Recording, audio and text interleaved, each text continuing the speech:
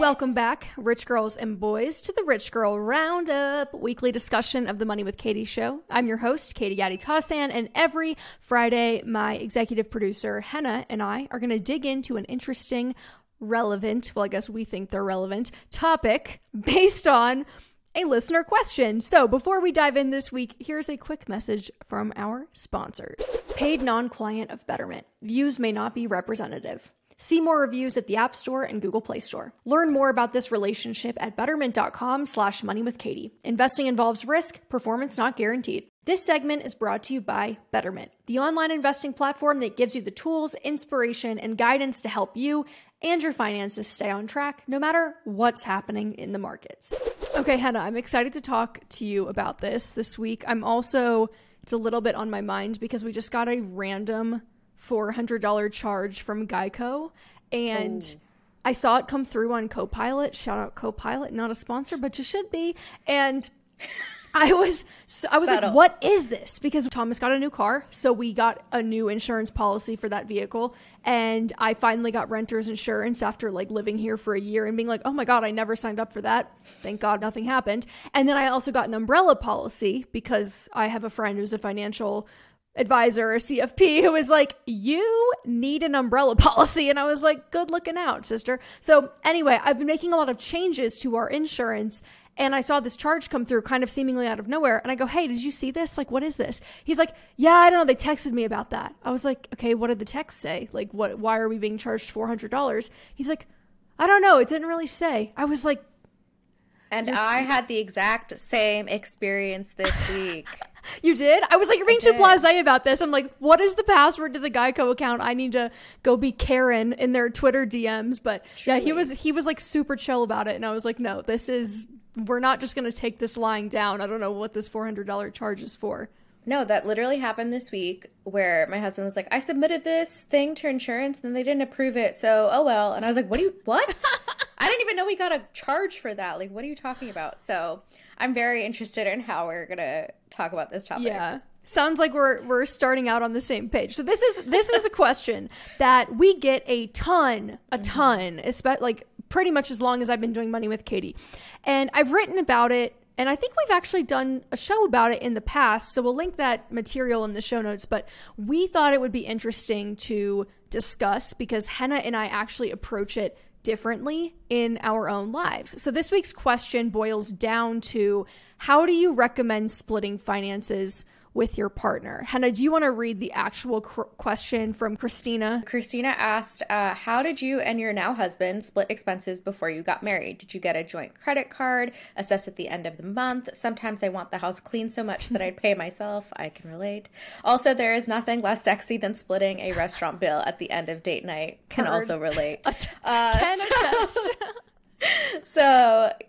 do you want to start with your your process? Because i think you guys have a, a, really good system in place that works for you. Oh thanks. Yeah sure. Thomas and i we lived together for a few months before we got engaged and then about a year before we got married. So we were cohabitating and splitting bills like roommates for about a year before we were legally bound together in the eyes of the state of texas We've been together for about five years. The only time we've ever argued about money was in that period, that 12 month mm. period where we were mm. doing the roommate model. And it's hard to say why, but it'd be the splitting and the, the logistics, and it was not working very well. And then once we got married, we considered continuing to do the roommate model, but eventually I remember we were sitting at the table, we just kind of looked at each other, we're like, why are we trying so hard to make this work? Like, we just signed a contract with the literal government that we are going to be together until we die. Like, it doesn't really make sense for us to keep going the extra mile to keep all of our expenses separate because, and this is key, we had very similar approaches to money and to our goals. Mm. So we both felt comfortable combining, though we didn't do retroactive combining. So any money that he came into the relationship with, any money that I came in with, our savings and investments, we didn't go back and move money around and combine all of it into new accounts. We kept all of it separate, but from our marriage forward, the legal joining forward, we opened a joint checking account that our paychecks get deposited into, and then all of our credit cards get auto paid from that account. Mm. None of my money, quote unquote, my money from my job gets shuffled into an individual account anymore and same with his with the exception of the retirement accounts that are all individual by nature and then we pay all of our bills and then everything that's left over gets invested into a joint brokerage account called TMT KGT, which are our initials, World Domination Fund. so we just like shuffle as much as we can every month into that. Um, and it works really well for us. It, we haven't argued about money in the almost two years we've been married since we've switched to that system and we have a joint wealth planner that we both use together and keep track of things and there's mm. complete transparency where we're logged into the same copilot so we know what's going in and out but it just works for us because we both kind of have the same goals and trust. And that's our show. Thanks, everybody. Here's a quick message from our sponsors. We're all looking for ways to level up, right? Whether it's finances or fitness or even fashion, we all want the most ROI out of life. Hoka's latest running shoe, the Clifton 9, is here to make your daily runs and workouts so much better. The Clifton 9s are super lightweight, but they still have that cushiony feel that Hoka's are known for.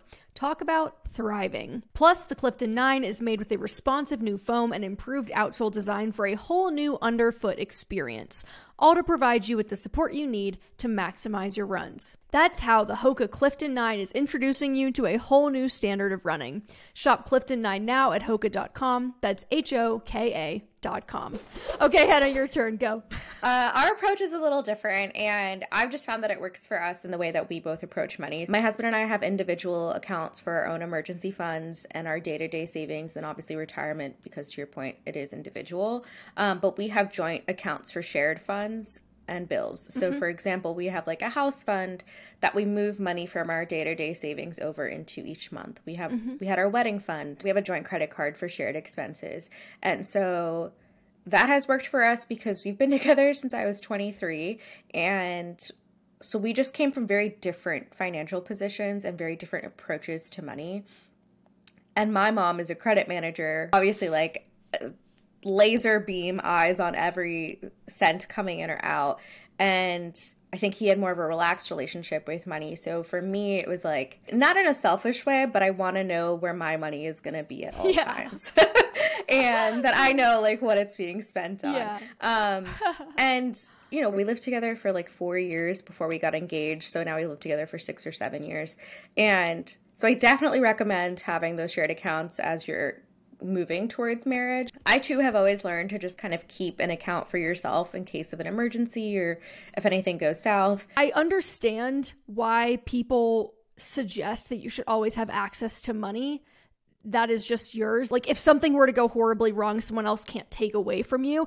And I completely agree. Like that's why we kept our individual accounts separate was I have checking and savings accounts that are just mine. However, I think it's important to say that even though that is true from an access standpoint, God forbid if you were to get divorced, if you do not have a prenup in place, all of those assets are likely to be split anyway. So just because something is only in your name does not necessarily mean that it only belongs to you if the marriage were to go south. That is something where you are concerned going into a marriage or you're already in a marriage and you just kind of want to protect yourself and make sure that any money that's just yours stays yours. Like you should probably have an actual legal agreement in place. It differs by state, right? Your legal status and like how the prenup works. I can't remember. Ex- there's two types of states. There's like um, uh, joint property, Shared maybe property. But yeah. basically, yes, if you were to get a divorce but you had no prenup, I'm pretty sure in that type of state, which is most, I think, like Texas is one, they just look at everything you have together and just split it split down it. the middle. So, like, yeah. even if an account is just Katie Gatti Tassin's name, it's like, well, she came into that marriage and it became his property too, so he gets half of that or whatever. But yeah, it depends. But it definitely depends.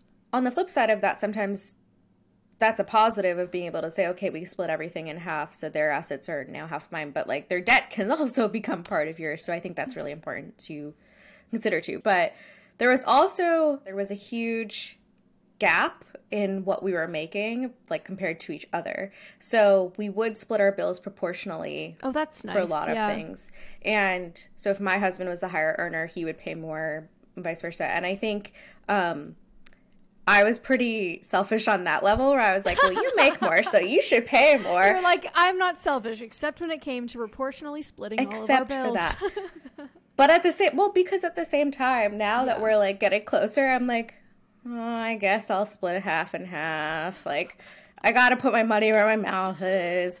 So, you know what's funny? Wait, I hope he doesn't get mad at me for saying this, but when we were dating, I did not have a high salary, um, and he was in law school, and I was like, oh, he's gonna out earn me in spades. So I was like priming him for like, I think proportional. It really makes sense. Like, I really think that that's a great way to do it.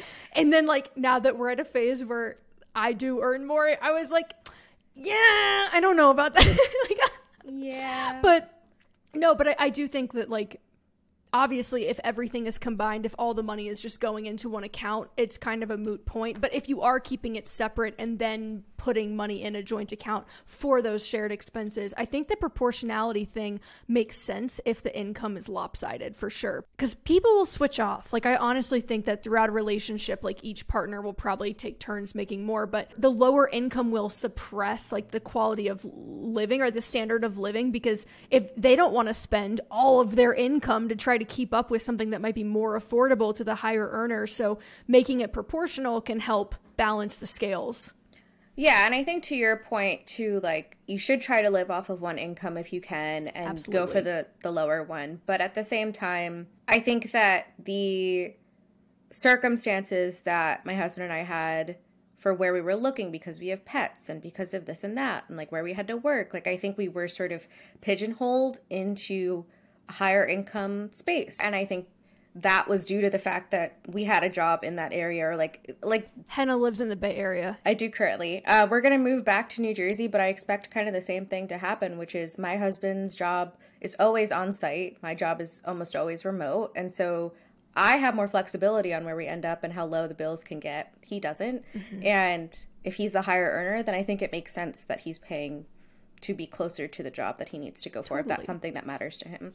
So, we have two different approaches that work for both of us, but I I do think it takes a lot of trial and error to figure out what's going to work because money is very sensitive. So, you kind of want to approach it from all angles and be really pragmatic about what the partnership is and how you're going to approach it. Could not agree more. I mean, I think pragmatic is a great word to use because ultimately I do agree with the kind of the jokey line at the end of the question that like there's nothing less romantic than splitting the bill at the end of the restaurant at the end of the date. I'm like, dude, I com- that was part of why I didn't like doing that because I felt it just felt so like uh.